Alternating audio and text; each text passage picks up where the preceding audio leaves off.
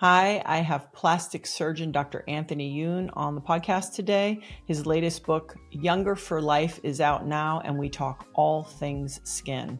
Now, listen, I love to drill down on lifestyle habits, but who doesn't want their skin to look good? And let me tell you, especially as you get older, you get more sensitive to these things. And Dr. Anthony really gets into all things which serums, which ingredients like bakuchiol which creams, lasers, which things are working, which things are a waste of time and money.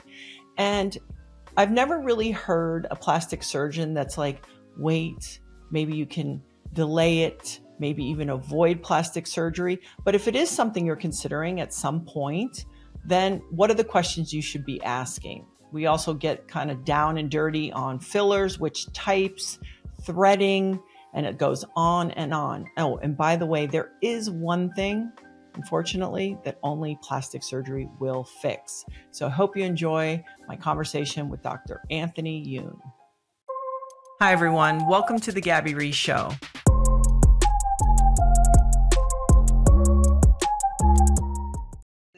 So, uh, Dr. Youn, thank you for joining me. I feel like we talked, what, maybe 18 months ago? I can't remember exactly. It's something like that. Yeah. Yeah. Yep. Something like that.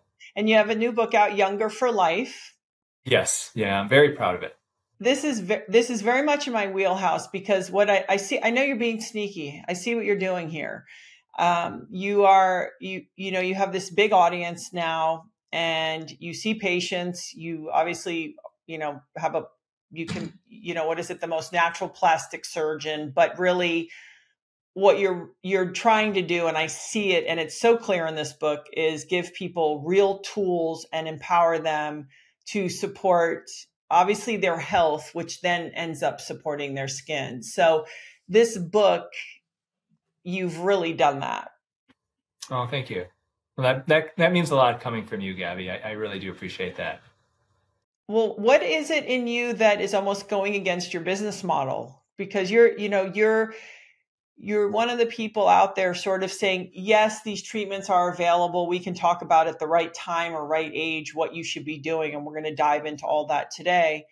But you're also not directing everybody to the injection and cutting and laser and do all these things sign. You're you're you're sort of having a much bigger conversation what happened to you from the time that you entered into school, chose your profession, and now are here doing this type of work? So I was always taught that the goal of being a plastic surgeon was to bring people to surgery. And we have some sayings in, in plastic surgery to cut is to cure, or the only way to heal is with cold steel. And so for years, I honestly, I gauged the success of my practice based off how many facelifts I was doing. Uh, because you know, people may trust almost anybody to do their liposuction, but if they trust you to do your facelift, then you know that they're really, you know, that you've hit the the the pinnacle. And so I thought that at one point in my practice, I had hit the pinnacle of success when I had uh, done a bunch of TV shows. I had people flying from all over the country to have facelifts done by me. And then I had a patient who had a terrible complication from a facelift operation. It wasn't her fault. It wasn't mine. Um, but it really got me into rethinking what I was doing and I realized that the goal of being a plastic surgeon should not be to bring people to the operating room, but it should be the opposite of that. It should be how do I keep people out of the operating room, yet still help them to look and feel their best and feel like hopefully they don't need to go under the knife. Uh, and so I spent years kind of figuring out a new way to do just that. I studied doctors, holistic doctors, nutritionists, dermatologists, skincare specialists, and I came up with this concept of autojuvenation, which essentially is using your body's own regenerative abilities to rejuvenate itself. Because I firmly believe that our bodies are incredible, re- regenerate, have incredible regenerative abilities to turn back the clock, but we just need to give it those tools and the right environment in order for it to do so. Do you have anything from your childhood coming from a different culture that any of these things were practices. I mean, even things like herbs and teas that get practiced and have been baked into other cultures for thousands of years. As I feel like as Americans, because we're teenagers per se, are the the length of the notion of our country and some of our traditions that we, you know, we didn't get a lot of that. Was that ever part of just your house growing up? Um, to an extent, yeah, because my parents were first generation immigrants from uh, South Korea Uh, they moved here uh, just a couple years before I was born. And then I grew up in the middle of Michigan in a tiny town called Greenville. And essentially, we were the only Asian family for the most part. And um, so my life was a bit of a story in contradictions. So at home, we'd be eating a Korean diet, which would be rice, vegetables, fish, garlic, kimchi. And then I go out with my friends and we'd be eating McDonald's, Burger King, KFC, Pizza Hut, Wendy's, and all that type of stuff. And, um, you know, at the time, it's like I didn't realize just the huge difference in health promoting that the different diets were doing. And it's funny, Gabby, because now I make, I have this kind of funny video series. It's kind of tongue in cheek of how to age like an Asian. Yeah. And so I bring up some of these things are, that are kind of, kind of tongue in cheek, but some of it's true, you know, and, and one of the things is, is kimchi, for example. You know, kimchi is one of my favorite uh, foods in, in Korean foods. It's a staple in our diet. We eat with almost all of our meals. But when you think about it, it's basically fermented cabbage, which with a bunch of hot sauce on it, with fish paste. Sometimes you get tiny little shrimp that you put into it. And then in Korea, sometimes they'll bury it for a while to let it ferment and get real stinky. And then you eat it. And I ate a lot of it growing up, but I never realized how healthy it is for your gut for your microbiome and then actually for your skin. Uh, and so, yes, there are definitely these these practices that that are you know practiced, let's say in Asia, uh, especially like in Korea, that really are health promoting, but we never really you know put that much thought into it. It was just kind of a way of life. And now we, when we've actually studied it, we're finding, wow, you know, a lot of these modern conveniences and the modern advances in food and, and you know, and, and uh, science, science of food creation and how to make something palatable and hyper palatable is actually bad for you and especially bad for your skin. And so what I try to do, you know, is try to appeal to people's sense of vanity. You know, sometimes improving your health, it's not enough to tell them, oh, you could get emphysema if, if you smoke cigarettes or you could get heart disease. But if you tell them, oh, you're going to get wrinkles if you smoke, they go, oh, well, in that case, I'm going to stop. Yeah, I mean, it is crazy. I joke even in the language of wellness, let's say self care. To certain guys, you'll be like, you know, you'll get bigger muscles. And to women, you'll be like, if you do some ice, apparently maybe some, you know, cellulite, the appearance of cellulite. And they're like, oh, okay. I, I mean, if you go, hey, mood elevation and all these things, they go, okay, it doesn't, it doesn't connect us. So I actually think that's why you're in a really important position. And with this book, because listen, I I read a lot of books doing this show, and you're saying the same things that an endocrinologist might write in a book, um, someone who's writing on anxiety and depression, but you've packaged it really in skin and showing the direct correlation. And so I, I actually think in certain ways, because we are nutty this way and vain and social media and all these things, that you're using the tool um, in, in such an important way. So you mentioned auto rejuvenation and it's auto rejuvenation. I'm yeah. sorry, auto um, rejuvenation, the body's ability to rejuvenate itself. Yeah.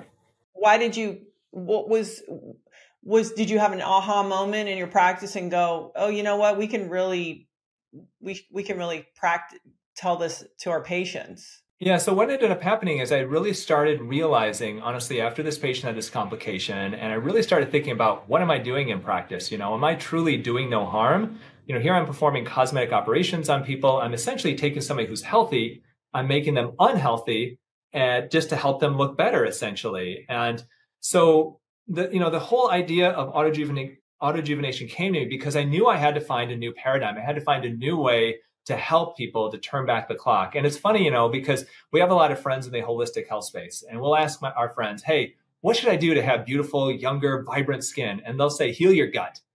I'll ask a dermatologist, what should I do to have healthy, vibrant, youthful skin? They'll say, wear sunscreen and use a retinol. And you ask a plastic surgeon, and they'll probably say, try Botox and have a facelift. Well, really, I, what I want to do is create um, this idea and this concept and test it. And we did test it of how do you combine a true integrative approach to turning back the clock of your skin. And it was combining what the holistic health practitioners are teaching with traditional medicine, traditional skincare, and non invasive treatments to create this concept of autojuvenation, this idea that our body has these amazing regenerative abilities. We just have to give it those tools. And so I focus on five main things with autojuvenation it's what you eat, when you eat, nutritional supplements, skincare, and non invasive treatments. And I believe that if you focus on these five things, that the vast majority of people, 80, 90% or so, can hopefully feel amazing and feel great about how they look and not feel like they have to go under the knife or even the needle uh, to feel and look amazing. Maybe let's start to break that out. I, I do appreciate, though, that in the book you talk about um, the history. I mean, we're going back a long ways in Egypt and India. The notion of creams and skincare has been around for oh, really yeah. A long time.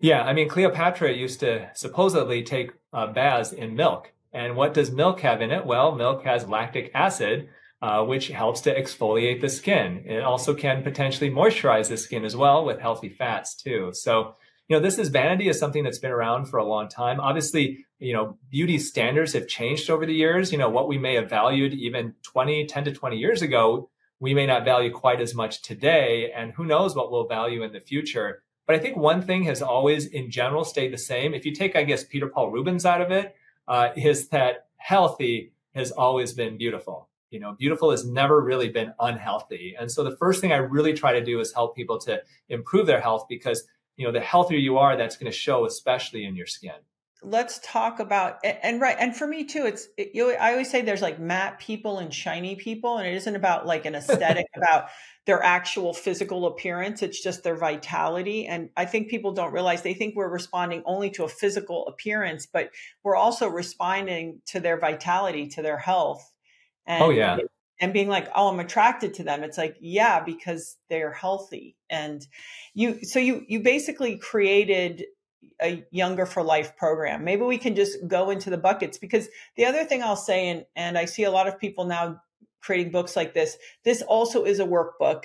It's a cookbook. It has ingredients, but it also like you spell out the you know the right types of foods and fats and the micronutrients and macronutrients supplementation specifically um, and so i want to just say to people that uh, this everything that we're talking about is spelled out many times in this book as a as a workbook so going into let's talk about the skin first first of all how would somebody know what type of skin they have um, so there's different ways, you know, we have different categories of skin. You know, sometimes we categorize skin by skin color. Uh, and that's important if you're having some type of an invasive procedure like laser treatments. Other times we can uh, divide skin in the basis of uh, hydration of the skin, you know, or how sensitive your skin is. So the first thing I would look at really when you're looking at just in general taking care of your skin, you know, is your skin sensitive? Is it dry? Is it mixed? Or is it oily? You know, and most people have kind of mixed skin where they have patches that may be a bit oily and other patches that are a little bit dry. The main reason why that's important is when you're using skincare products. So, for example, a cleanser, there are cleansers that are better for oily skin and some that are better for skin that's more sensitive. So, if you've got oily skin, then I recommend using a more foaming cleanser. If you've got drier skin or more sensitive skin, then a milky or a hydrating cleanser is going to be better for you.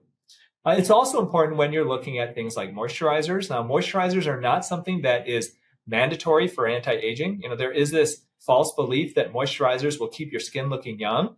Well, moisturizers are like drinking water. You know, they are imperative. They're helpful. They hydrate your body. But there's nothing about drinking water that's going to necessarily slow down the aging process. Just like applying moisturizer is going to hydrate your skin. And it may look a bit, you know, plumper just because more hydrated, but it isn't actually going to actively reverse the aging of your skin. Um, so if you've got oily skin, then you may not really need to use much of a moisturizer. Uh, so if you're living let's say in Hawaii and you've got fairly oily skin, then, you know, and, and you don't feel like you want to use a moisturizer, by all means, don't. Uh, but then there are other treatments like retinoids, retinol being the over the counter version where the type of skin is very important because if you've got, if you have thick, oily skin, then using something more aggressive like a prescription strength retin-A may be more beneficial for you. But if you've got more thin, sensitive skin or drier skin, then using something more mild like an over the counter retinol, that might work better for you instead. And you really like the retinols. That's a hero product. It is. And, you know, and, and that's not something that I would say, oh, I'm special because I like retinol. Most doctors who really know, yeah, they'll talk about retinol because it's the most proven, you know, when, and, and the studies have actually been done on prescription strength retin-A or tretinoin. And what they have found that with prescription strength tretinoin, so basically retinol is the over the counter version, prescription strength is retin-A. Uh, and they're both called retinoids because that's kind of the general term for them. But when you actually study prescription strength retin A, we found that it can help to thicken the dermis of the skin or the deeper skin. It can help to smooth the skin. It can reduce fine lines and wrinkles. It can improve pigment, pigmentation, and it can even reverse early pre-skin cancers, uh, which is a huge deal. If somebody has a history of skin cancer, especially on the face, uh, then using a, a, retinol or ideally a retin A may help to prevent new ones from showing up. And so, really, it's kind of like a jack of all trades for an anti-aging cream, but it's hard for some people to tolerate. And so if you if you've tried using retinol and you're like, geez, it makes me too dry and flaky, then go with one with bakuchiol, a product with bakuchiol. Bakuchiol has been shown in one study, it's just one study, head to head to have very similar effects anti-aging wise as retinol, but to be much easier on the skin. I love that because I was going to ask you how to actually even say that word when I read it in the book. I go, okay. so really quick, as somebody, and again, this might be part of my interest. You know, I, have obviously spent a lot of time in the sun. Um, and I've heard from a few dermatologists that sun, well, first of all, we know it's one of the king things that can create a, you know, an aging look on your skin. You talk about sun expressions, fiddling with your face and smoking as some of the real things that can age skin. So as somebody who's been in the sun and continues to be in the sun, um, I have heard that sun exposure, obviously the the look of the skin is aged, but it can cause like sunburns can cause irregular uh, cells, but that actually skin cancer itself, for the most part, is genetic. Am I am I off the rails on this? Because this is there's actually no real. I've heard anyway, and that's why I want to ask you. There's not a ton of science saying that sun with the exception is now you can have irregular shapes or types of cells. There's not a direct line to actual melanoma. Um, you know, with melanomas, there is definitely a genetic component to it. Um, but with all of these types of skin cancers, well, it's whether it's basal cell, squamous cell, or melanoma, all of those are impacted by the rays of the sun. Uh, and when we look in general, just to kind of explain kind of the mechanism of it, um, when we look at overall aging of the skin, there are five main causes that I focus on of why our skin ages. Uh, nutrient depletion, number one. Number two, collagen degradation, so our collagen getting thinner. Number three, chronic inflammation. Number four, oxidation or free radicals. And number five is a buildup of cellular waste. Now, when sunlight hits your skin and it causes damage to the skin, it impacts two of those pathways. It causes chronic inflammation and it can actually create free radicals. Free radicals are these molecules that basically damage our DNA of our cells, and they are neutralized by antioxidants. Um, so antioxidant rich diets are basically, you know, so if you're eating the rainbow fruits and vegetables, which is great for your skin and for your overall health, the main benefit of that is that you are fighting those free radicals. Um, so getting all that sun exposure, you know, I have never uh, honestly heard a myself a dermatologist say, you know, sun, you know, since skin cancer doesn't have to do with the rays of the sun. If anything, I've heard actually the opposite is that it's directly proportional to how many sunburns you get and how much sun exposure. That being said, there are things that you can do even now after, you know, you've been a professional volleyball player, you've been out in the sun a lot in your life. What can you do to reverse some of that that's gone on? Actually being on for your face, a prescription strength tretinoin may reverse early precancers that haven't come out yet. Uh, now, the problem is you won't know what it reverses because it just won't turn into a cancer. Um, but that can definitely be helpful. Yeah. And I think because people say, I'll be, by the time this show comes out, I, I will be 54. And um, I, people go, oh, what is it? I go, well, certainly my genetics. Um, you know, it's like looking at your skin. That's, I know you know what's going on, but it's genetics. Um, but I also think because I've had a pretty healthy lifestyle, I've had a healthy lifestyle my whole adult life. Because because you you talk about sugar and, and processed foods and all these things, which I you know how passionate I am about this. And people, I think sometimes they just don't connect it. And um, so I think that that has also protected me, you know, in what you're talking about. So maybe we can just go into those those nutrient depletion. Uh, you give a list of of supplements and let's just we can we can make it really yeah. simple you like to eat more vegetarian style with maybe some fish protein um, but really you're talking about eating real food yeah so nutrient depletion there was actually a study you know one of the things that our friends will always say uh, is that our soil is depleted of nutrients and our produce is not as healthy or as nutritious as it used to be. Is there any science to show that? And actually, there is. There was a study that looked between the years of 1950 and 1999 at the produce uh, sold in the United States and found a significant reduction in six key nutrients. Three of them that really stood out to me vitamin C, protein, and iron. So our food, our, our fruits and vegetables are not as nutritious as they used to be. Uh, and that is actually true. And so that's one reason why I am a fan of nutritional supplementation. Now, I'm not a biohacker. I don't take 50 pills a day. I know that that's not typical for people. For me, I focus on some very basic supplements that I think everybody should uh, consider taking. Uh, one is a multivitamin. Very simple. You don't, you know, you don't have to take my multivitamin. Take whatever one that you feel comfortable taking. I think that's super important. Um, so nutrient depletion is a big part of it. Um, the second thing is going to be collagen degradation. We'll talk about protein because I know you brought that up. So once again, our collagen really is the is the backbone of our skin. It composes about 70 to 80% of the thickness of our skin is collagen.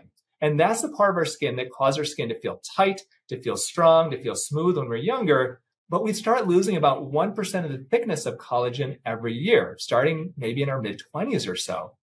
Women after menopause start losing about 2% a year. Uh, and that's why you may see women who are in their 70s and 80s and their skin can be so tissue paper thin that it can actually tear uh, if somebody scratches them.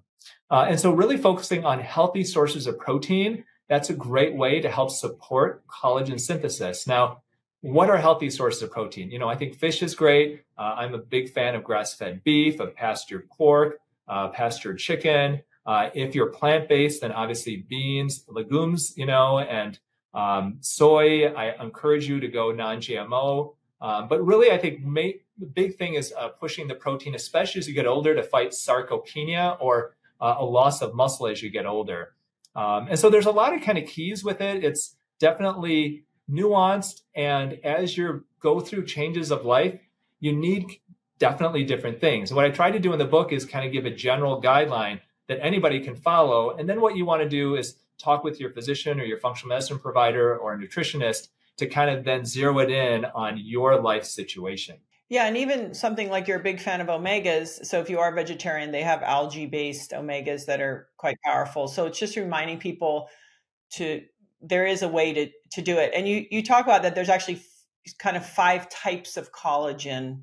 Um, it, you know, it's not one size for you know collagen isn't just straight across collagen yeah so collagen supplements are definitely really controversial um, and i honestly i don't know why because you know it's funny because i'll post something on social media and people will comment. They'll say oh well my family doc said don't bother taking collagen. He says it doesn't work.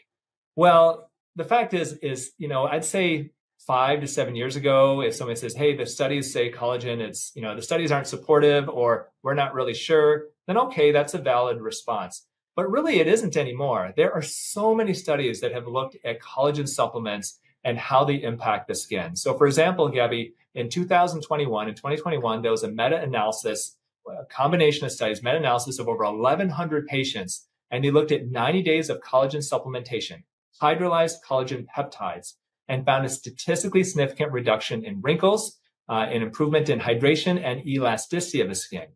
And there are even studies that are prospective, randomized, placebo controlled clinical trials where they have taken people, put them on a collagen, hydrolyzed collagen supplement, and then actually biopsied their skin a couple of months later and found an, an increase in the amount of collagen in their skin.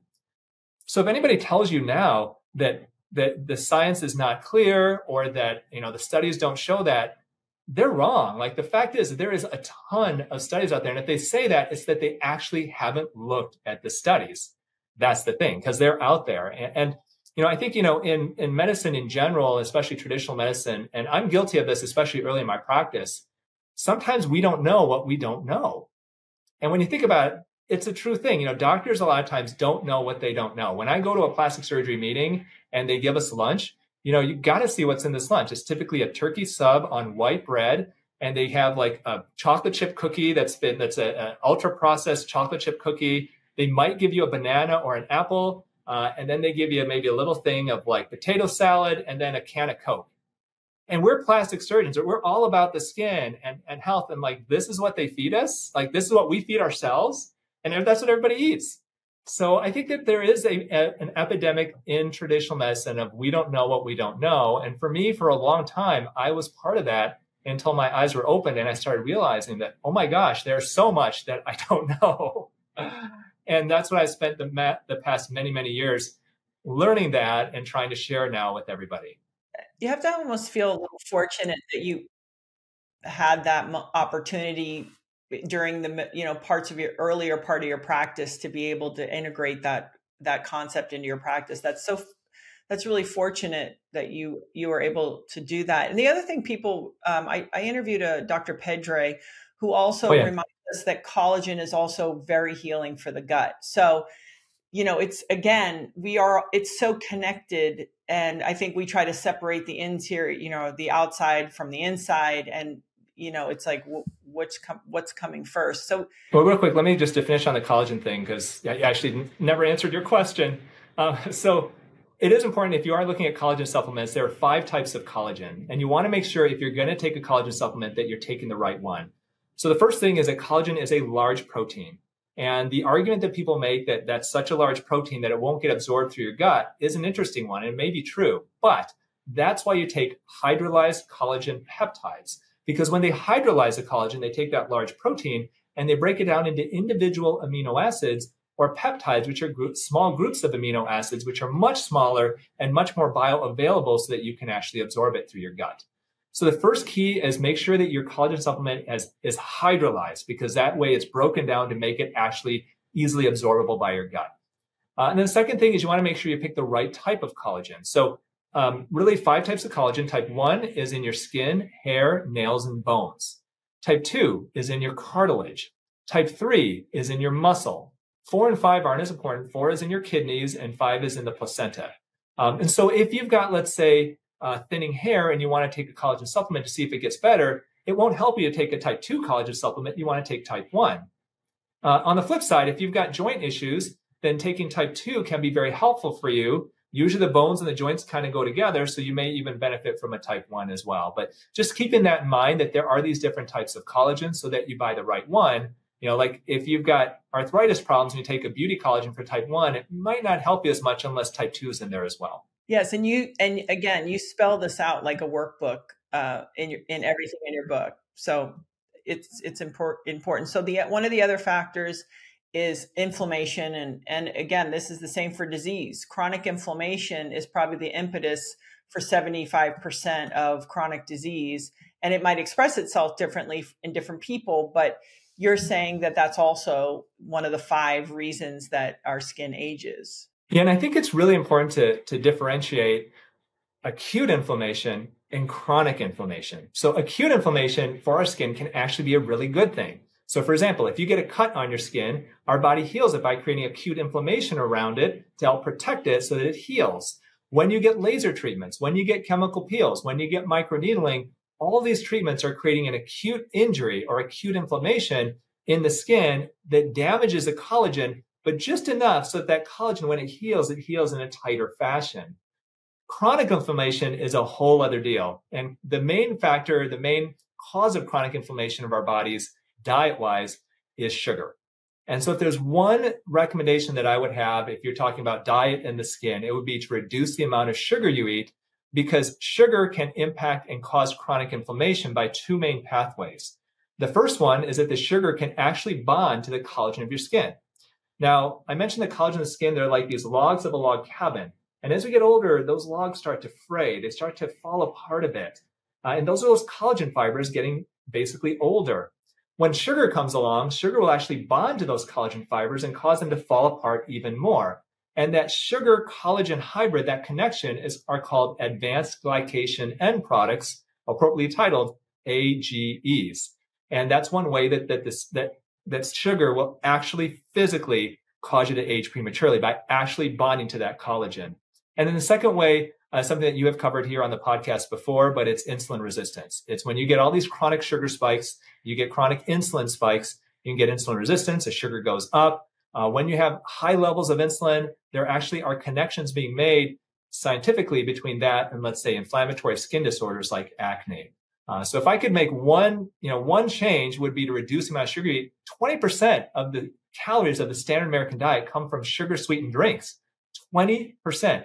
Soda pop, energy drinks, fruit juices. You know, if you're somebody who's, you know, listening to this now and you're like, well, geez, I drink three cans of soda pop a day. Just take that first step and go to two, you know, maybe drop down to one. Doing that is a huge, huge benefit for your body. Uh, and, and, and taking these steps, you know, eventually they can become cum- cumulative. You know, try to definitely do that for yourself. Do you have experience? I mean, you must have experiences where you have a patient and um, for whatever reason, they they they're all in and they make big lifestyle changes. And, and you, and you said something really important that I always want for people to, to, approach it this way the invitation to take small things out. You don't have to flip your whole yeah. life and change everything all at once. I think it's too overwhelming. I think it's hard to adhere to. So you like you said could you just take one out one thing out? If you smoke a pack a day could you smoke half a pack? I, I really want to encourage people because it's about the long term success i totally agree yeah because i think it is hard and people are doing the best that they can but if exactly they want to make changes, it is about slow and realistic ways that they can do that. If have you had a patient? I'd love to hear if you, I mean, if one crosses your mind of somebody who's like, okay, I'm all in. And then from one year to the next, it's like they've become, you know, three years younger. Yeah. So we've seen that. A, yeah. And we've had that a lot of people. Um, so a couple of ways that we've done it.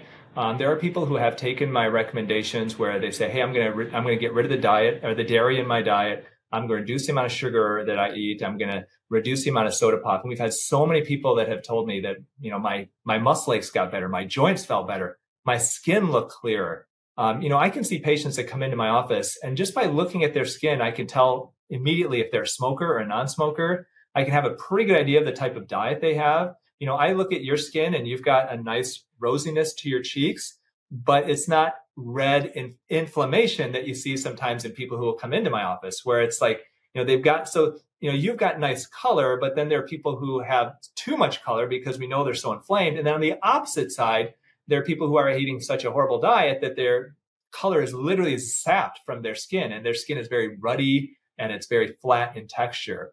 Um, so I see that all the time you know, as far as actually seeing certain years come off, you know, we did actually this this test. This doesn't have to do with the, the diet, but this is actually just skincare, where we put people on a very simple skincare regimen. It literally took two minutes a day, and we had them do it every day for for a total of two months. We took photos of them before they started the skincare regimen, and then photos of them two months after. And then we put those photos online and asked people how much younger do they look, and they looked an average of about five years younger.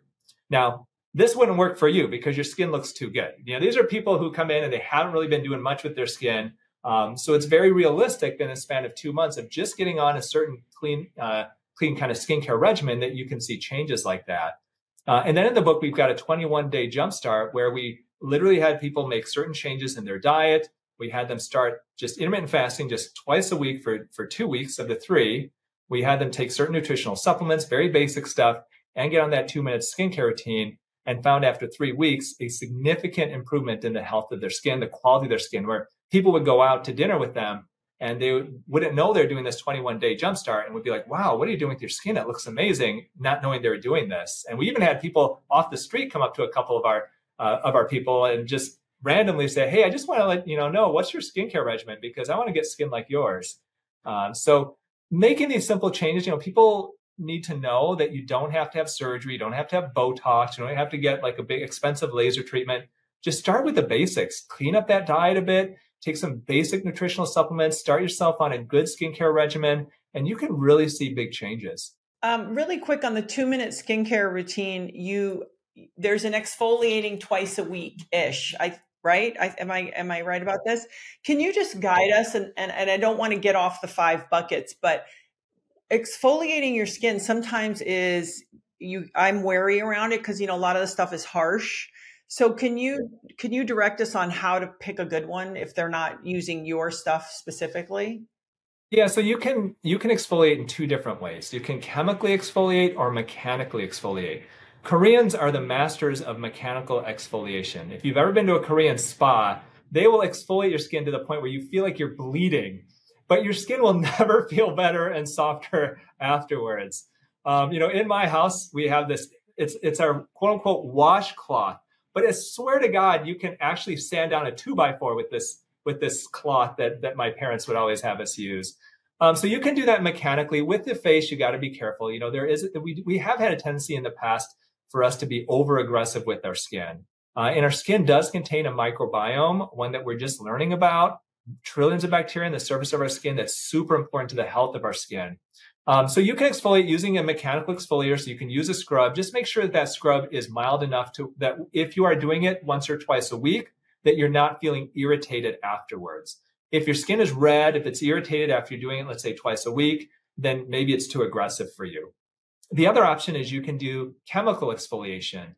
And those are, let's say, alpha hydroxy acids or glycolic acids that you can get in peel type form. Um, you can get that. A lot of skincare companies have it. Do that once or twice a week, and that will chemically exfoliate your skin. That's going to be more gentle. That'll be gentler for a lot of people. I uh, I actually also learned this and have been doing it. Where a friend of mine who's in, in skincare, I use the lactic acid yogurts, not a real yogurt, not the one where they put the lactic acid in, but the one that it doesn't say that they put it in.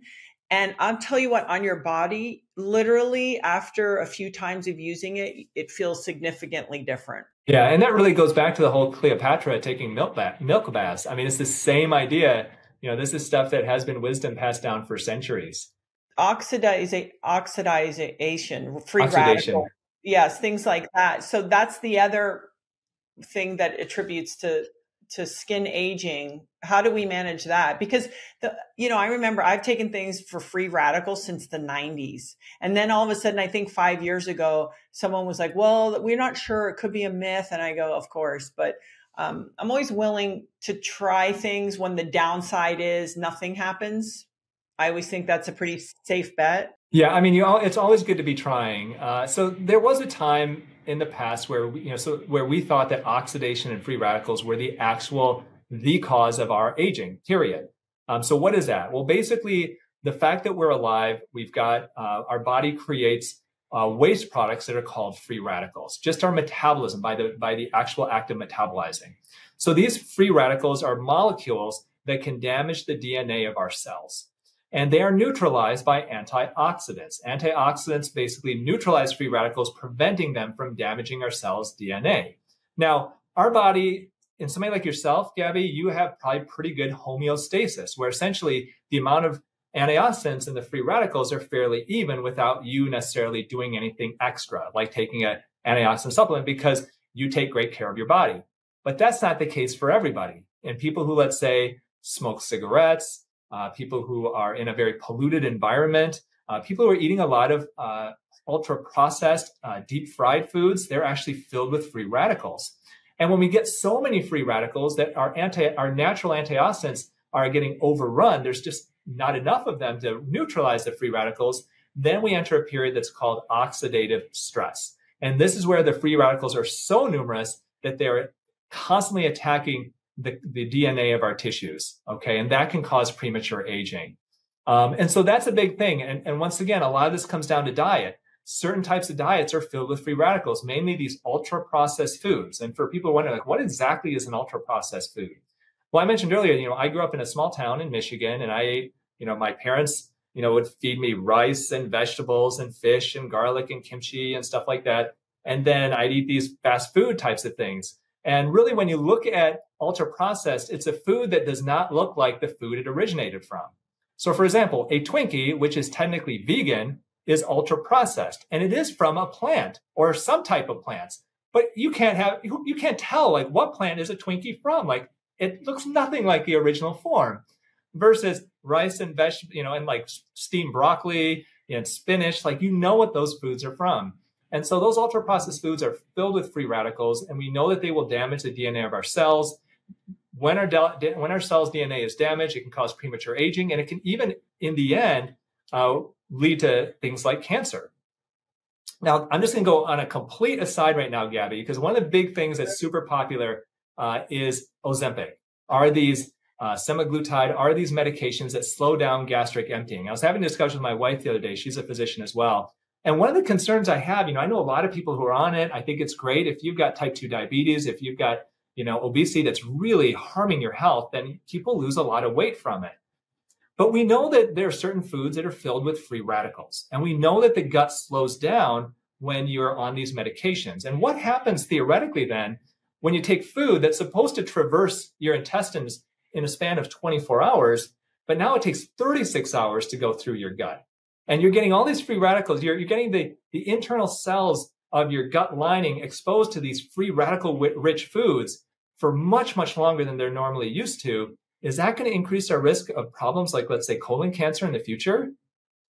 I don't know. Like, unfortunately, traditional medicine sometimes is not good at following this type of stuff for long term before we approve it, you know, for everybody to use. Yeah, and I think to your point, if somebody was really dealing with obesity or type two diabetes, where it's like, hey, it gets you if you've been really obese, and then all of a sudden you get to a place where now you're really motivated and you make the lifestyle changes, and then there's other things with Ozempic, right? Like losing tons of muscle mass depression. I think there's even like suicidal tendencies. Like there's some kind of unusual framing going on around that. Um, I did hear a funny joke that the very um, thin women of the 90s are pissed off because they cardioed and starved themselves to death and now these women now are just taking ozempic but i guess that's a for another another time so many people are on it now i, I heard it sold out i uh, i also want to remind people for example i'm I'm relatively healthy. I'm always I'm going to navigate things myself by getting my blood work done. I don't methylate out exterior pollutants particularly well,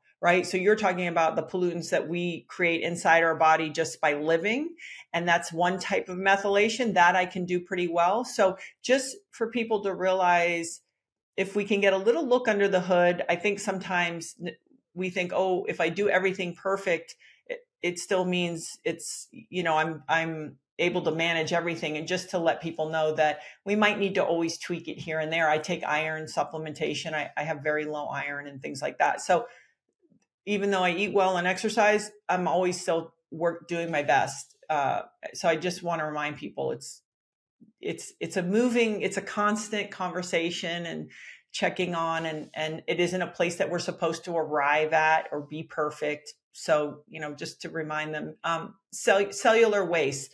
Now is this different than senescent cells? Am i am i right? Am i wrong about this? Like when you talk about cellular waste yeah so the way i look at it now senescent cells basically are cells that you know, zombie cells, some people call them, but cells that have basically stopped dividing because the telomeres have shortened down so much. Uh, and we don't really know exactly what the function of senescent cells are with overall aging. Uh, I think that's something that's still in question, but we do believe that they have a pretty big role to play. We're just not exactly sure how. Um, so what I'm talking about is the buildup of cellular waste, and that um, it's kind of like the same when our bodies create uh, these free radicals. Our cells create intracellular waste products. They're proteins, they're organelles, they're used mitochondria that can build up inside of our cells. And our body undergoes a normal process called autophagy. Autophagy means self-eating, and essentially it's a it's an intracellular recycling process to where our bodies will then use that intracellular waste for energy. When our body runs out of energy, uh, in order to create fuel, it will start by using those proteins on the inside of the cells. Now, when those proteins are recycled for energy, it helps to clean our cells up technically on the inside, and it causes them to function more efficiently, essentially more youthfully. So the process of autophagy essentially is this intracellular regenerating, rejuvenating process uh, that can occur in all of us. But like most things, as we get older, it slows down, and it's also impacted significantly by what by when you eat, essentially, and that's kind of the when you eat part of autojuvenation. Um, and so, in order for autophagy to kick in, most doctors believe that you have to stop eating for a minimum of about 12 hours. Uh, that gives the gut a chance to rest. It gives your body a chance to then uh, realize that, hey, we don't have fuel coming in. Let's go ahead and create this intracellular rejuvenation process where we can use our damaged intracellular organelles for energy that cleans everything up on the inside. But once again, the problem is, is with our standard American lifestyle, we're constantly eating, we're grazing all day, and that does not allow our bodies to go into this autophagy mode. Now, I don't think you need to go into a 70, you know, six hour fast or 84 hour fast or any of that type of stuff. Just doing 12 to 16 hours, you know, couple times a week if you can may be sufficient enough to really get that autophagy process going. Uh, and really, that's a way to turn back the clock naturally on the inside. Once again, using your body's own regenerative abilities to rejuvenate itself. Um, now, I just need to make a mention too, because women, especially after menopause, you know, there's this a lot of talk about making sure they get enough protein. And that's one thing, you know, I'm a fan of intermittent fasting. I do it a couple of times a week. Um, but there are also people who do it every day. And I think it's hard, especially with women after you go through menopause, you really want to push the protein to prevent sarcopenia, that, that breakdown of muscle, uh, to do that in just two meals. Uh, and so you want to kind of, as you, as your body changes, you, just like you mentioned, you want to kind of adjust to that and see what works best for you. Yeah, I, that's such an important point because I'm there, right? It's like, you you know you're stealing from paul to pay peter and who needs to be stronger at which time and to and to listen to that. And by the way on the days that maybe you're let's say someone's working and they're going to travel and they're not going to train as hard maybe that's the day to make you know have a late lunch and then roll through and not eat until the next day kind of thing and, and figure that out. But if you're training super hard maybe that's not the time because you're going to need more protein for recovery. So i really appreciate that uh, differentiating point. What takes us really out of a fast? So that's actually pretty simple. Uh, anything that really is caloric takes you out of the fast. So when, when you're fasting, whether you drink water, uh, black coffee, or tea, as long as you don't add anything into it like sugar or like cream, then you will still be fasting. Uh, there is a belief that some people have that if you have, let's say, butter coffee, that you that you aren't breaking your fast, and that's just not true. Um, although what is true, and one thing that I put in the book that I found really fascinating, uh, and this is kind of getting advanced stuff, is that even though you break your fast, let's say, so let's say if you start fasting at 8 p.m. and then you don't eat until noon the next day, what we ended up doing, uh, we have a 21 day jumpstart where we put people on this jumpstart for these 21 days to see if that can really improve their skin. It really did. But when they would um, refeed after doing that, that 16 hour fast, we would put them on an autophagy supporting diet. Essentially, there are certain foods that will break your fast but can still stimulate that autophagy process to potentially keep going. We know that eating sufficient amount, that eating healthy fats can actually help support autophagy. So when people would break their fast, we encourage them to eat uh, essentially healthy fat foods, so omega-3 fatty uh, acid-rich foods like cold water fish, like salmon, tuna, trout, mackerel, that type of thing. And then monounsaturated fats, which would be like avocados, olives, um, nuts, and seeds, uh, and then the other group of foods that help to continue to stimulate autophagy, even though you're breaking your fast, uh, are foods that are rich in polyphenols. And so those are going to be, uh, this is type of like antioxidant. Um, those are going to be like brightly colored vegetables or, or sorry, brightly colored fruits and vegetables, darker fruits and vegetables like blackberries, raspberries, strawberries, black beans. Those also can help support autophagy. So the idea that we did in the book uh, is that we had people do this intermittent fast and they would break their fast just two days a week uh, by eating essentially a healthy keto keto like diet, healthy fats, and polyphenol rich foods. Yeah, and you and you and you talk about the importance of fiber and beta carotene and things like that. Oh yeah. So you you really you know you get what I call kind of basic granular.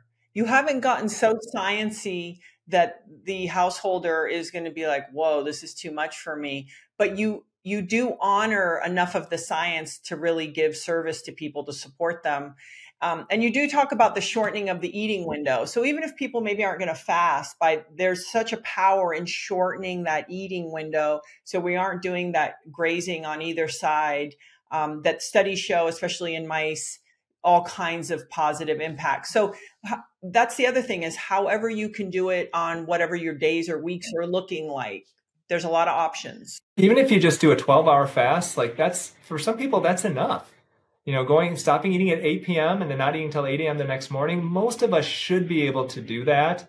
And that is sufficient. You know, some doctors believe that's sufficient to get that autophagy process going. And, you know, and like with anything, you know, and, you know, you help people, you help train their bodies. You know, you can't start at one place and expect that you can just immediately go to another place. You don't start by going for a jog and expect you're going to run a marathon right afterwards. Like your body, you do have to train your body even to do things like intermittent fasting.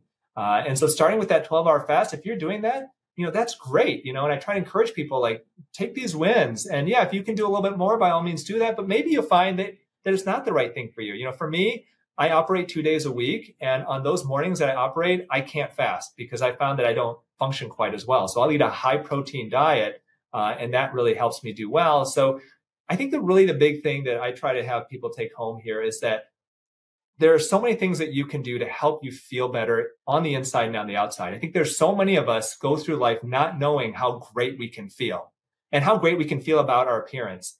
Uh, and making just these small steps can put you in that direction so that hopefully you can realize someday that, like, oh my gosh, I feel so much more energetic. I feel great about how I look. And like, you know, I didn't know I could feel this good. And, and I think that's kind of the best thing that comes out of sometimes doing these little changes. Okay. So we, we, we were responsible. We talked about the stuff we're in control of.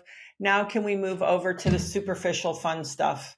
All right. No problem you you have things that you're sort of like mm, about and i'm just going to name a few and if something jumps out to you then you can talk about it whatever feels more important you talk about fillers that are not hyaluronic acid based am i getting that right yes yeah happy to chat about that well, fillers people are using the fillers a lot yes okay so what's the guide on that and and are you, if you're 20 is it like stay away from Botox and fillers? Help me out. Yeah, so Botox is the most popular cosmetic treatment in the history of the world. Five to seven million Americans have it done uh, every year. Uh, basically, Botox is a neurotoxin. It blocks the transmission of nerve impulses to the muscles. So essentially, for three to four months, the nerves supplying that muscle do not cause that muscle to flex. And so any wrinkles caused by those muscles will smooth out. Three most common areas are between the brows, the forehead, and the, and the crow's feet lasts about three to four months. Overall, I think it's a very safe treatment. Though you know, we've probably treated over 20,000 people in my office. The worst I've ever seen is maybe two people with a little bit of an eyelid droop temporarily. So I think overall Botox is pretty darn safe as long as you have it done by the right practitioner. Filler is a different story. Filler is number two most popular cosmetic treatment uh, throughout the world, throughout the country. Um, worst thing can happen with Botox, usually you get a droopy eyelid. Worst thing that can happen with filler is that you lose parts of your nose, parts of your lip, or you go blind people have gone blind from injections of filler. And the reason why is you can get what's called intravascular occlusion, where the filler is accidentally injected into a blood vessel, and anything being supplied, any body part being supplied by that blood vessel, can literally necrose or die. Um, and so, how do you prevent that from happening? Obviously, you want to choose the right injector. Make sure it's an injector that works in the office of either a dermatologist or a plastic surgeon. Make sure you're using a hyaluronic acid based filler. Fillers are made of hyaluronic acid, or other substances, make sure it's an HA filler. Two brands, Restylane and Juvederm, two big brands for it.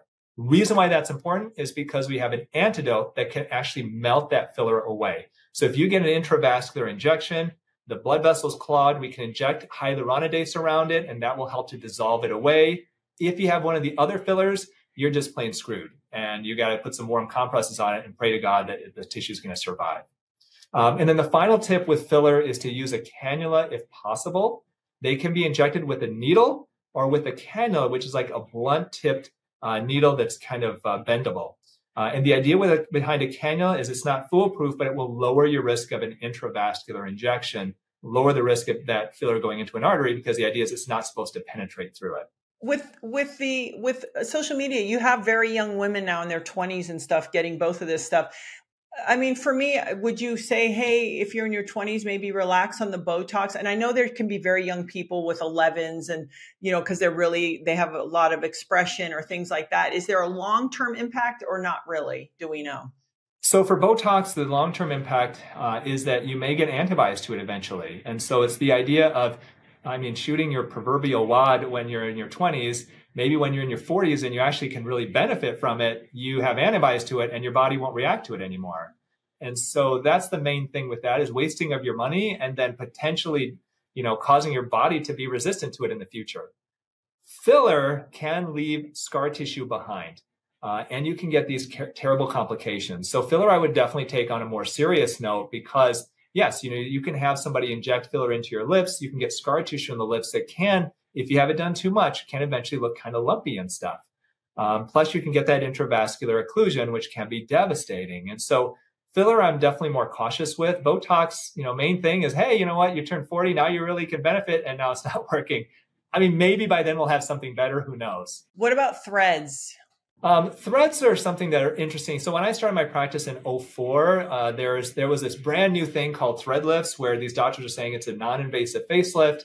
Essentially, these are these are sutures that they cut little barbs into, and if you run it under the surface of the skin, those little barbs will actually attach the skin and cause it to basically look like it's lifted. But the problem is, is that eventually the tissue will cheese wire through those little barbs and go back to where it started.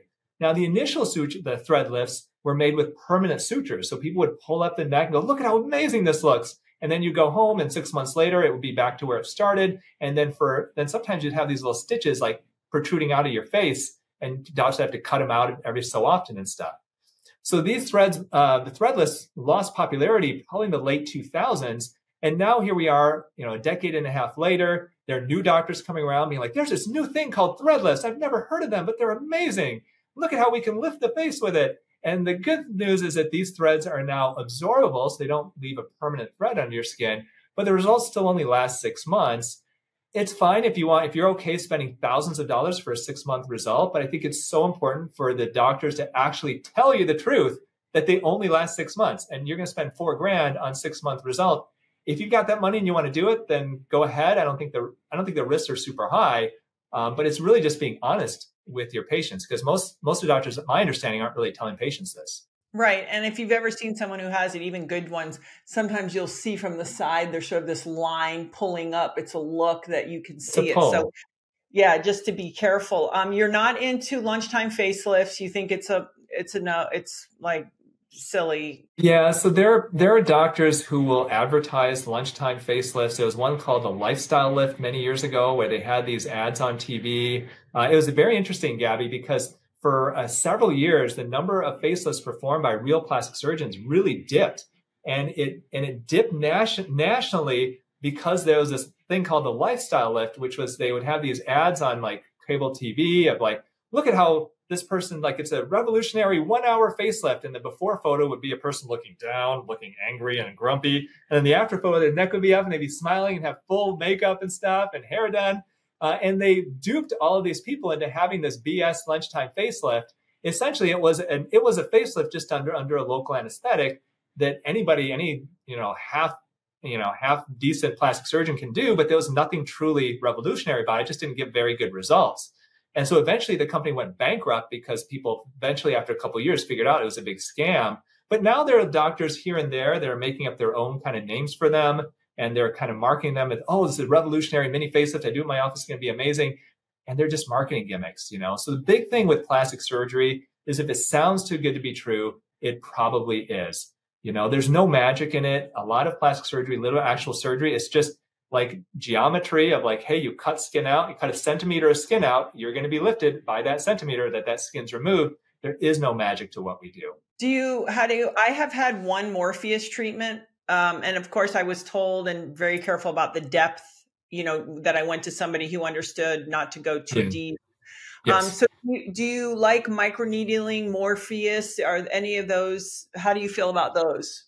Yeah, I think microneedling, number one, eh, for bang for your buck, is a great treatment. You know, when you're undergoing cosmetic treatments in a doctor's office, the cost of the treatment is going to be based to a large extent on the cost to the physician or the owner of that practice. And so, for example, it can cost me $200,000 to buy a certain type of a laser.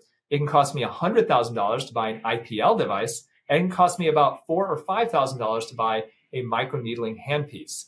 So the benefit of microneedling I mentioned earlier, it's that acute trauma to the skin that causes the collagen to actually heal in a tighter fashion. And microneedling does that by making tiny pokes in the skin. Now you can take that to the next level by adding PRP on top of it. PRP is platelet rich plasma where we draw your blood, we spin it down and remove the platelets, which are chock full of growth factors. So if you microneedle the skin, you create these, these tiny little pokes in the skin those little pokes, those little um, those little needle point pokes are going to act as channels to the deeper skin. So if you make those microneedling and then you apply the PRP on the surface, that PRP will seep into those tiny holes and will actually impact your skin from the inside out, essentially rejuvenating your skin from the inside using your body's own cells, which sounds kind of like autojuvenation. Um, now you take that to the next level and you make the poke in the skin, but that needle is insulated all the way up to the tip, and the tip emits radio frequency energy or heat. We know that if the, if the temperature of the collagen of the deep skin gets to a certain temperature, it will cause the collagen to denature and then tighten back up as it heals, causing it to be tighter. And that's the idea of Morpheus 8. It's radio frequency microneedling. And if you want to take that to the next level, you apply the PRP on the surface of it after you do your Morpheus treatment. Uh, I think it works great. Do you space those out by like a few months and get a set of three? I've sort of heard this, or does For it Morpheus? not really matter? Yeah. Yes. So you want to space it out a good month, two months apart. And then usually we recommend, so I, we do it in my office. I get it done under my chin and my neck area probably every four months or so. Uh, You and do? we do recommend it though. Yes, I do. Does it hurt? yeah. It hurt. I mean, I don't remember because mine they numb you, but Yeah. does it, how do you deal with doing that just here? Like, do you numb it or you just deal with the pain? Yeah. No, I just put uh, numbing cream over it and I'm pretty tough. Oh, see, you have secrets. Just numbing cream. Yeah, we just use numbing cream. Yeah, you leave it on for about 45 minutes, the numbing cream. You just have to leave it on enough for it to really do its thing. And then I get treated. Yeah, it's a little uncomfortable, but actually I tolerate it pretty well. Um, I know that there's some people who are real sensitive to it. So you think it's good for the neck? I think that yeah, for somebody like you or me, where you know we're not in facelift territory, you know the one thing that that you know we're talking a lot about non-invasive treatments and stuff today, but the one thing that you know, and I still do surgery a couple days a week because the one thing that we can't do non-invasively is get rid of hanging loose skin. When that skin is hanging, doesn't matter if Morpheus isn't going to do it. You have to tackle it before that happens. Uh, and so for me, I do it maybe every four months, and my hope is never to truly droop that much. Uh, I'm 51. Uh, like yourself too. It's like you're not a candidate for a face if You don't have droopy, you know, skin and jowls and stuff. But that would be a nice treatment overall to kind of keep things nice and tight for you. Uh, we usually recommend starting with three to four treatments. You space about one or two months apart, and then maybe once every six months or so to get another treatment to just kind of keep things up. And then you like you red light you're into. Yeah. So if you're talking any, you know, bang for your buck. So if you've got listeners and they um, are on a real strict budget, or let's say you don't have access to a med spa and you want to do something at home, no question, red light therapy is a great option. And you know, you can get handheld devices that are less than hundred dollars. You could get tabletop, um, you know, kind of rectangular devices. You can get creepy looking masks to scare your spouse with. Um, all of those, you know, tend to work pretty well. The idea behind red light therapy is different than what we're talking about with microneedling and lasers and stuff. It's not based off trauma, but the idea is that the energy from that red light will get transfused to the mitochondria of your cells. The mitochondria are the powerhouse of our cells and it causes them to increase ATP production. So essentially causing your cells to become energized. Uh, and that's the idea behind the uh, rejuvenation process of red light. And there are studies, there are split face studies where they take a, a face, split it in half, not physically, but basically treating one half with a sham laser and then one with red light and have found a significant improvement after usually like anywhere from two to three months in the collagen of the th- of the skin, in the elastin of the skin, uh, and in fine lines and wrinkles. So there are scientific studies to support definitely the use of red light therapy for improving the skin. I love that. So I, I could go on and on. I'm gonna I'm gonna start to wind it down. Um, you do though remind people about like soybean oil and some of the oils that that is a no go. You want to accelerate aging. Um, so again, this is stuff that I'm talking about all the time for overall health. But I really appreciate that you did. I was sad about no bacon because of the sugar. Well, and that's yeah, and the advanced glycation end products, yeah, the AGEs. That's bacon is, you know, I mentioned earlier how sugar bonds to the collagen and that Yes. creates AGEs. Bacon does the same thing. It's so sad. And that's like the worst of all the foods. That's the problem. So I mean, I mean, I'm not an absolutist, so you know, there's certain places where I will definitely get their bacon because man, there's so good. Uh, there was actually a place near where you lived in Venice um, that I used to go to that was they just had the best. It was so good, and every time we go there, we would go. But um, it's just a guideline about not every day um so i just i do i do want to really quickly cover though like you know liver spots spots sunspots is there anything we can do to Oh, yeah. minimize those So I would look at it as an inside outside option. Um, so from the outside, the easiest treatment, so easy, is IPL, intense pulse light. And most med spas have an IPL device. IPL basically uses light energy to, to target the dark spots, cause them to be darker after about a week, and then slough off. Usually you do need multiple treatments. It's not usually a one and done, uh, maybe even up to four to five to really clear it out.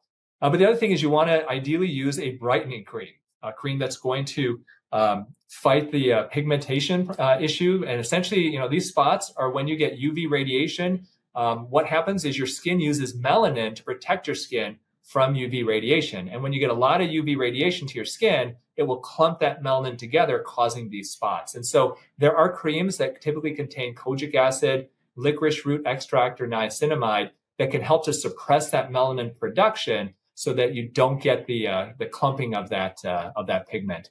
Um, and if you want to try it, I'm happy. I've got a, a, really good one. I use it every day on my skin for my Youn Beauty line, and I'm happy to send that to you. Oh yeah, no, I'm I'm gonna direct people. I want to check all of that out. Um, teeth whitening and hair, because that is part of beauty. Yes. So teeth whitening, you know, there's a lot of options for that.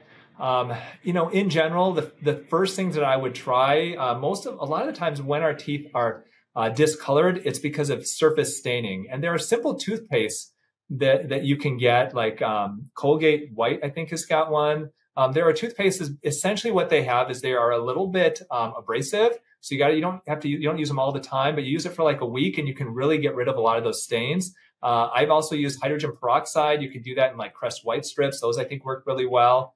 Um, and then you know there so many people, as I'm sure you know, have veneers uh, where you basically put these things over your teeth, porcelain over your teeth.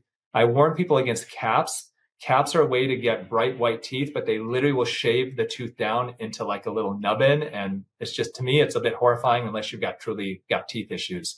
Um, so those are good options. Thinning hair, there's so many great options naturally to treat thinning hair. And so this is something that I've been dealing with a little bit for the top of my head. And usually what I recommend, if you have access to a functional medicine doc, then you know they'll draw your labs because definitely nutritional deficiencies can be big there. Uh, there's something called telogen effluvium, where it's stress induced hair loss. So the number one thing I would start is look and see, you know, are you really stressed? And if you are, look at ways to reduce your stress, whether it's, you know, changing what you're doing with your job, whether it's meditation, yoga, so many great things, exercising. Short of that, there are nutritional supplements that are great for thinning hair. There's one that I recommend called Nutrafol. If you don't have access to a functional medicine doctor, you can't afford all those tests. Nutrafol is kind of a, a, good supplement, a general supplement for anybody who's got thinning hair. They've got Nutrafol for men, a separate one for women pre-menopause, and a separate one for women post-menopause, and one for women who are vegan. So they've got different options depending on kind of the stage of life and, uh, for you. So I would do a, a supplement. I would then do red light therapy or a laser helmet for your head. Uh, they make these. Uh, one I usually recommend one called iRestore. There's a bunch of them out there. They're expensive. You know, you probably start about five hundred dollars. Uh, I have one that I wear every other night for about a half hour. Many, many studies in the dermatologic literature showing uh, low light laser therapy can really help with thinning hair. Basically, the idea is it is like with red light therapy, is it helps to add energy to those follicles. Uh, and then the final thing is some type of a topical, whether you use Rogaine or minoxidil um, there was a study that compared topical rosemary oil to minoxidil and found very similar results. So that's kind of a favorite for the holistic minded. Um, you want to make sure you use a carrier oil with it. Don't just put essential rosemary oil on your scalp. That's going to be too strong. Um, and so those are some great options for thinning hair. I kind of do all of those myself uh, because I want to keep my hair. Years ago, my wife and I, we filled out these like things where it's like, what do you find most attractive about your spouse? And my wife put his hair. And then like two years, a year and a half ago, I found out that I was thinning on top and it scared the crap out of me, Gabby, because I'm like, oh my gosh, I'm losing my secret weapon. yeah, but you got that skin, doc, and that brain. So, um, yeah, but she didn't put most attractive was skin or brain. She put hair. She's like, his hair is hot. oh my goodness. Water, quality of water, does it matter? Does it really impact our skin? Like, you know. Yeah, you know, I I mentioned earlier, I think water and like moisturizers are kind of the same thing. Like they're they're very beneficial. I mean, water is more important than moisturizer technically, but you know, it's you know, some people there are celebrities who will say, "Oh, you know, how, how is your skin so youthful?" You know, and they'll go, "Oh, I drink a lot of water," and it's like, come on, that's not going to reverse aging of your skin. It's going to help with hydration, with energy. It's so good in general, um, but at the same time, like you know, that's kind of a basic type of a thing, you know. And so, but is not drinking more water is not going to make your wrinkles go away just like make you know using a moisturizer. Now it may look make you look a little more hydrated. That's awesome, but it's not technically going to treat those five signs, you know, those five cause of aging. It doesn't tackle inflammation or collagen degradation or any of that type of stuff. But super important. And I also am a fan of triple reverse osmosis filters because God knows what's in our tap water nowadays. I always say, and I'm going to be really honest with you, that I'm going to go as long as I can. I don't mess around with all the other stuff, but I almost just feel like I'll get a facelift and be done with it, like one and done. And there's sometimes conversations, I'll come to Michigan. There's sometimes conversations that, oh, you shouldn't wait till you're, it's too late. Like you should do it before everything goes down. What, what's, what's your feeling about that?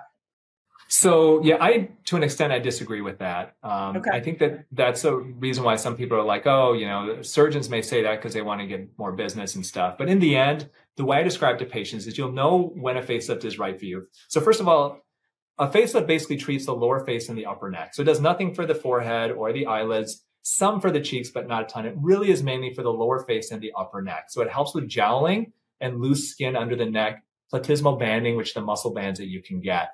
Um, and it does that at the expense of permanent scars in front of and behind the ears and a little scar underneath the chin. The under the chin scar usually heals really, really well. It's the one around the ears that you're always a little worried about because especially if you have your hair up, those scars may be visible. So what I tell my patients when they ask me, I don't know, is it the right time for me? I tell you, I tell them like, you will know it's the right time because when you think about getting a three and a half hour operation, you know, going under the knife for three and a half hours under a general anesthetic, having the risk of complications such as poor scarring, tissue loss, bleeding, nerve injury. Uh, you're going to get these permanent scars afterwards. You spend upwards of $20,000 or more, be uh, away for a good week or two weeks before you start looking good. And you are so excited to do that because you hate how your neck and lower face look. That's when you know it's the right time. Okay. You're so excited because you can't stand the appearance of this area so much that doing all that stuff I don't care because I so want to take care of this. That's when you know it may be the right time. You know, if you're not there yet, if you're like, oh no, like that, all the other stuff scares me. I, you know, I'd rather just have this. Then definitely it's too early. Yeah.